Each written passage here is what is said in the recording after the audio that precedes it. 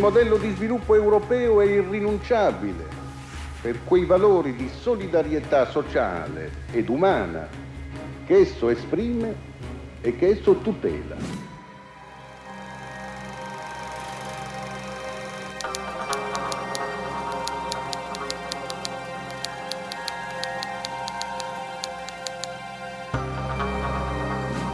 La nuova Europa non può essere soltanto il frutto di una mera operazione di ingegneria istituzionale.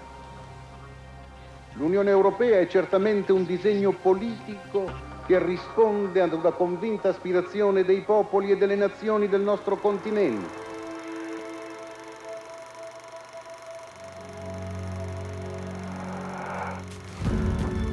Noi abbiamo una politica europea Speriamo che si possa avere una politica estera europea, un ruolo dell'Europa nella comunità mondiale che abbia un'incidenza, un'influenza e una sua capacità effettiva e univoca di intervenire su questioni aperte.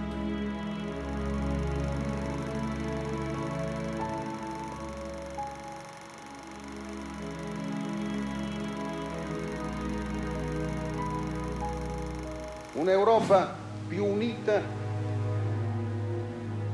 deve saper resistere alla tentazione di guardare solo al suo tornaconto, deve allargare le sue frontiere di azione, deve saper tener fede ai principi di solidarietà sanciti nei trattati. Dobbiamo saper rispondere alle aspettative di chi ci guarda, non solo ai cittadini europei portatori di sempre nuovi desideri, ma anche di quei popoli che difendono il più elementare dei diritti, il diritto alla vita.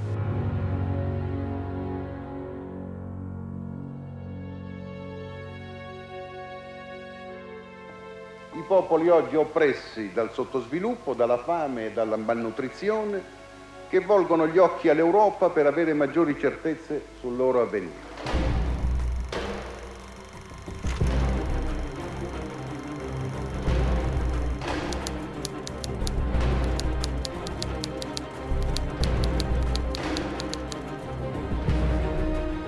Dobbiamo sapere che nella riva sud del Mediterraneo sta, queste popolazioni sono soggette a un tasso di incremento demografico che è ancora molto alto, sono iniziate correnti di emigratorie e immigratorie che in assenza di un accelerato processo di sviluppo che abbracci tutta la riva sud del Mediterraneo sono destinate a gonfiarsi in un modo impressionante e, sarà una, e saranno delle tendenze inarrestabili e incontrollabili.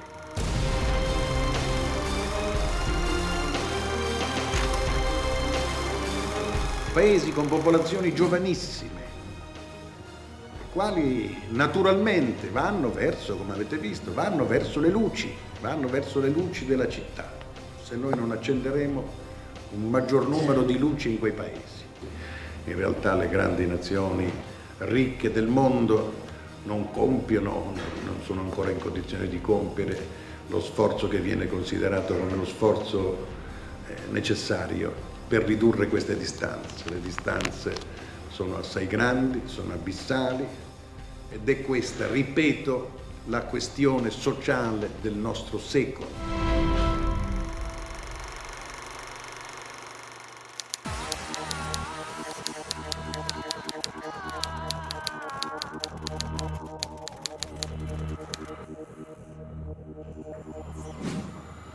L'Italia è una nazione per definizione, una nazione immersa fino al collo nel Mediterraneo.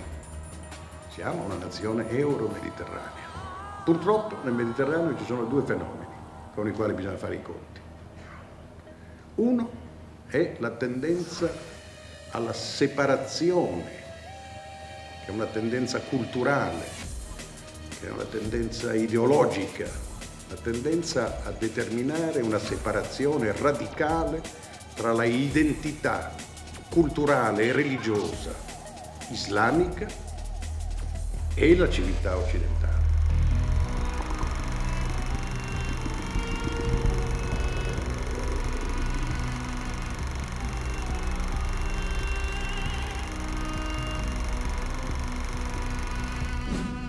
La tendenza molto forte che nasce da fenomeni di frustrazione, eh, di un bisogno di identità più marcato e più difeso, nasce dalla insufficienza dei rapporti o dai rapporti mal costruiti sulla base del colonialismo e del postcolonialismo dai paesi europei in, questi, in queste nazioni.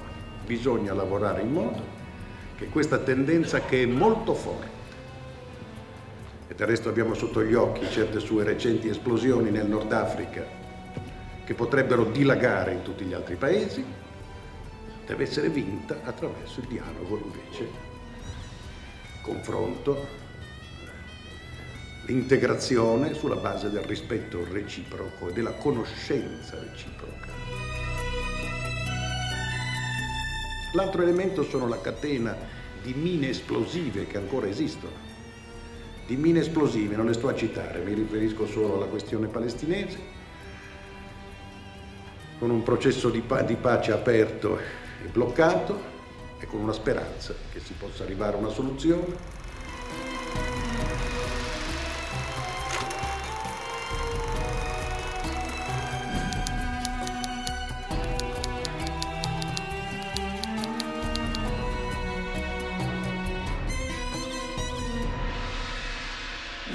Certo, andiamo verso una Europa in cui la competitività si farà assai più diretta e assai più aggressiva. E quindi noi da un lato dobbiamo temere la, la, la modernità e la forza dei sistemi produttivi delle, delle, grandi nazioni europee, anche se penso che, che loro debbano temere la creatività, la intraprendenza e l'intelligenza degli italiani.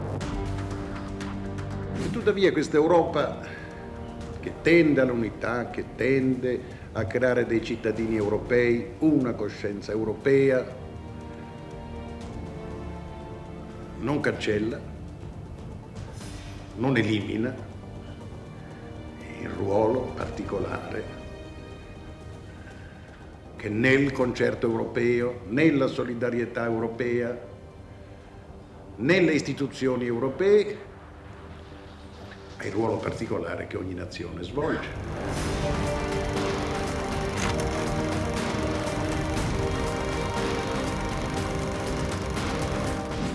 È certo che l'Italia ha rispetto a loro un handicap ed è il ritardo nella modernizzazione della pubblica amministrazione, il ritardo nella modernizzazione e nel grado di efficienza dei nostri grandi servizi.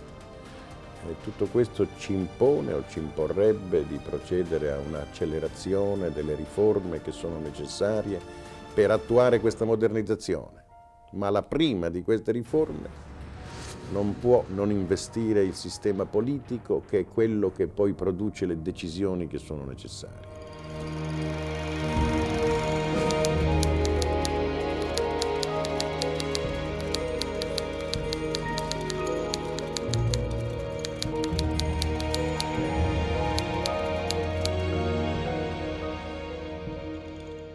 Presenta l'Europa come una sorta di paradiso terrestre, arriveremo al paradiso terrestre, ma l'Europa per noi, ho già avuto modo di dirlo, per noi nella migliore delle ipotesi sarà un limbo e nella peggiore delle ipotesi l'Europa sarà un inferno. Quindi bisogna riflettere su ciò che si sta facendo, perché la cosa più ragionevole di tutte era quella di richiedere e di pretendere, essendo noi un grande paese, perché se l'Italia ha bisogno dell'Europa, l'Europa ha bisogno dell'Italia, non dimentichiamolo. Pretendere la rinegoziazione dei parametri di Maastricht.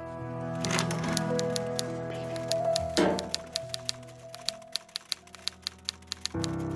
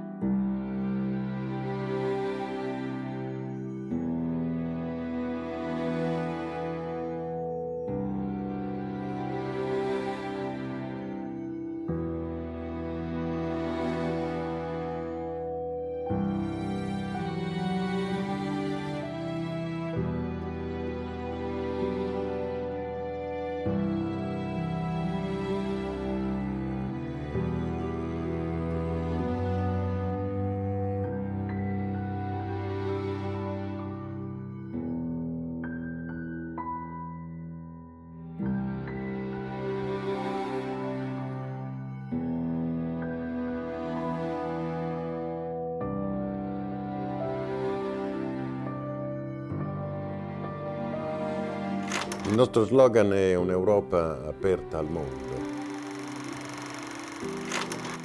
Anche quando eh, nessuno mi poteva sentire, ho continuato a parlare.